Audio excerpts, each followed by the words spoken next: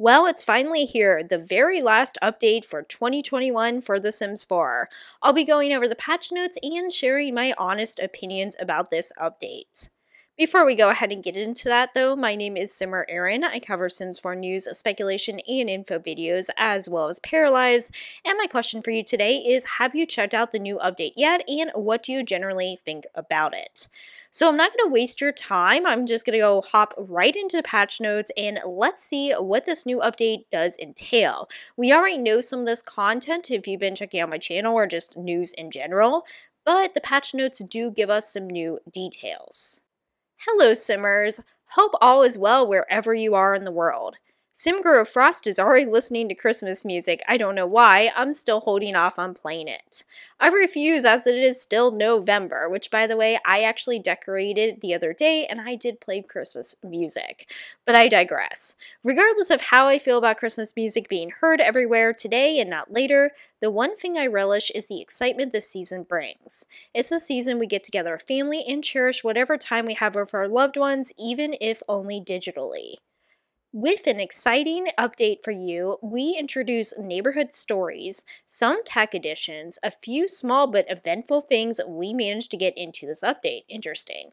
Thank you for your continued support and feedback, and remember, have fun. So, what's new? So, obviously, we've already talked about this in previous times. This is the neighborhood stories. I'm not going to go into much detail about my personal opinions because I've left that on my previous videos, but I will read what they have to say. So, Neighborhood Stories is about adding flavor and more life to the neighborhood Sims who live outside your active household. As noted in the blog, today's update will focus on Sims that are connected to your households only and have a relationship of some kind with them.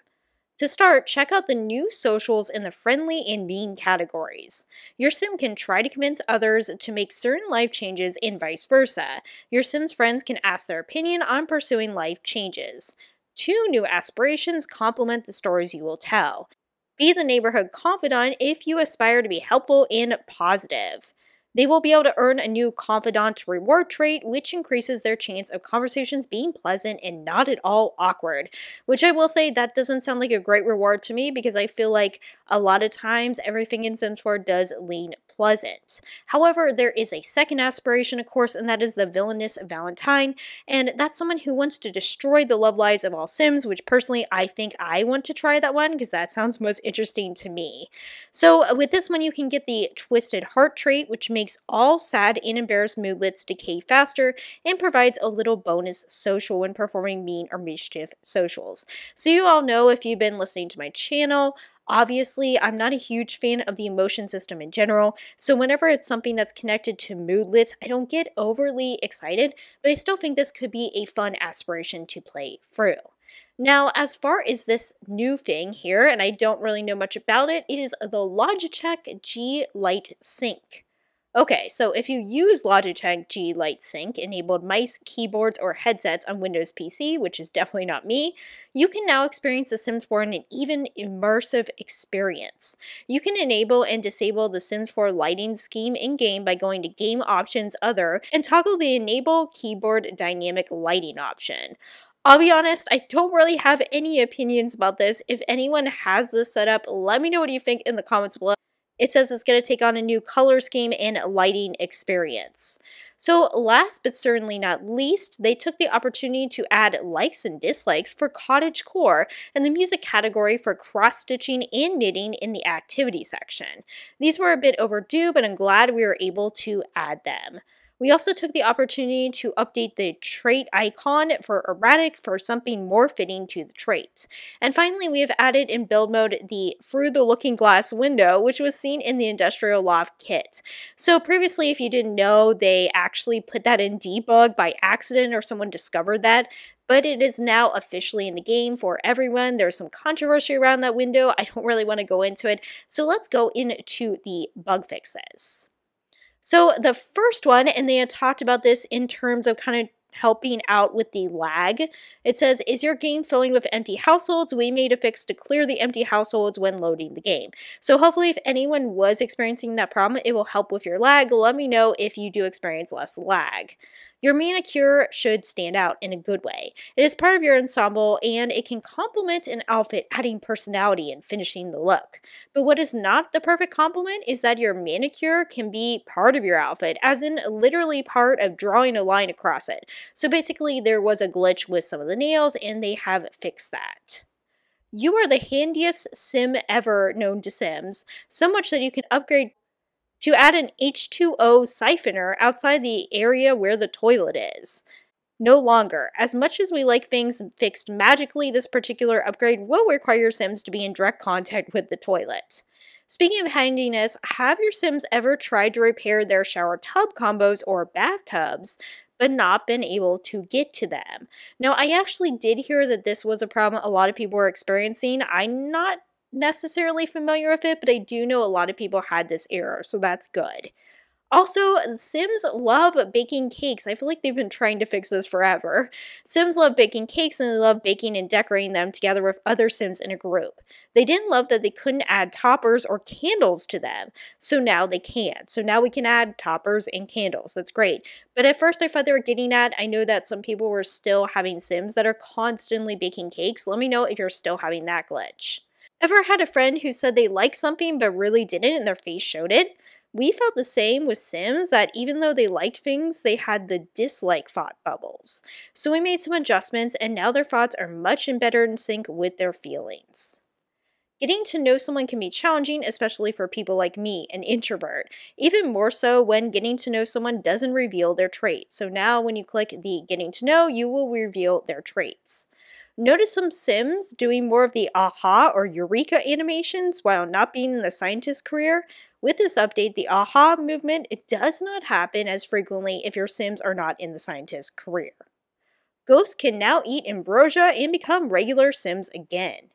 Perfectionist Sims will now save their paintings in their inventory instead of starting over even after completing a perfect painting. That's ultra perfectionist.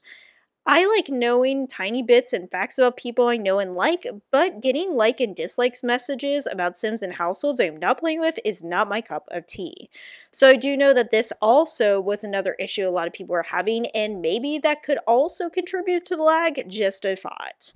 So for Get Together, the ghost sledding activity icon has been added. For Eco Lifestyle, you have several A-OK bloomer vertical plants, you've started to sing to your plants, cared for them, to them, and you decided to grow cruelty-free meat, but you realized you couldn't harvest it. We reviewed and made it so that you can harvest from vertical plants. And then also the fabricated floor light is now able to be fabricated. For cottage living, if you're in Henford-on-Bagley, even better. Sims that offer a helping hand that are meddling and peddling can now see the perform the encourage to flirt with interaction. Are you going to the fair? Crops, llamas, cows, and chickens. Sims that submit high value items to the fair will now have a better chance of winning. Living in the Simple Living Challenge can be rewarding, except when you can't eat your own onigiri seaweed ramen, and avocado maki rolls. Pardons for the pronunciation. Our designers decided that seaweed shouldn't be the secret ingredient, so now you can make these dishes when living a simpler living. For Spa Day, does your sim desire to be a self care specialist, but they are having trouble managing to keep regular clients so they never achieve their goal? It should be resolved now, so get it. Realm of Magic. Here we are, born to be Sims. They are the royalty of the universe. They are immortal. Our Sims are inside the immortality potion. They have no rival. No other Sim can be their equal. Now the potion works. I realize that whoever's doing this is having a lot of fun with the patch notes, and it's somewhat entertaining to read, but half the time I have to go back and reread it to figure out what they're even saying. So, for Dream Home Decorator, we adjusted the pay for interior designers in their higher levels. Just when he thought the kleptomaniac Sims had met their match, alas, no. They really had to go for that kid's tent. What do you do? We fixed that issue on attempt to swipe so the tent would not disappear from the lot. For nifty knitting, Sims with autonomy on will now be able to knit when they are not having fun. And then for Bust the Dust. These adorable but filthy dust bunnies were added again. Maids didn't have the heart to bust the dust completely, and we told them it was okay to do so. So that kind of concludes all the patch notes. I apologize for stumbling. I know this was a little bit lengthy. I think that some of these are pretty decent fixes. I'm really excited to go ahead and check out Neighborhood Stories. I expect there's going to be some problems with the first iteration of Neighborhood Stories. I do hope that it goes well enough and that the next patch will be even better. I know that there are lots of things that were not addressed in this video and a lot of things rather that were not addressed in the bug fixes, but I do think that even little steps can make a big difference over time and I'm really hopeful that maybe the team is trying to invest more in the base game, especially now that we know Sims 4 is going to go on for a couple more years. Definitely check out my last video if you didn't hear about that news. But on note, thank you so much for listening to me and I hope everybody had a wonderful day. Bye.